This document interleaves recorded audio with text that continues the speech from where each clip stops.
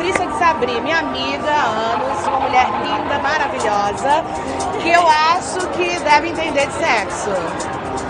Poxa, tu não me idade também, né? É, estamos. Vou me colocar nesse bolo com você pra você. Se eu entendesse um bocadinho, eu acho que eu daria Então, um problema. então pronto, então vamos botar aqui, vamos trabalhar. Aqui tem uma barraca sensorial, onde você coloca a mão e aí você tira uma perguntinha. Você escolhe, não quero te comprometer, você vê o que é melhor pra você, o que a sua cabeça manda. Vou enfiar a mão. Eita, garota, é assim que eu gasto.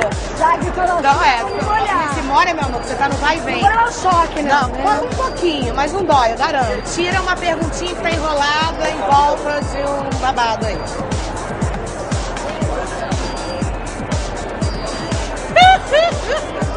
Pega a perguntinha. Tá em volta. Achou?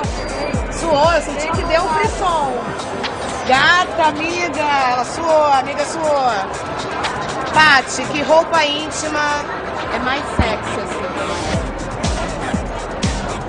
Eu gosto de sexy e sensual. entendeu? Então eu, eu acho que eu acho, acho a transparência bacanésima. Transparência eu acho que é uma coisa que pode ficar meio velado.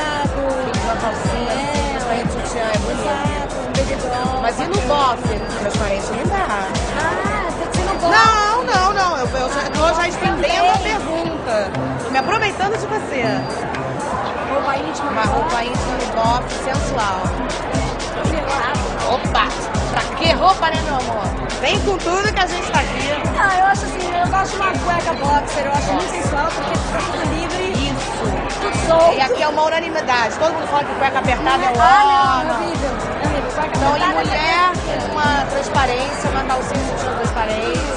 E no homem, uma cueca box. Pronto.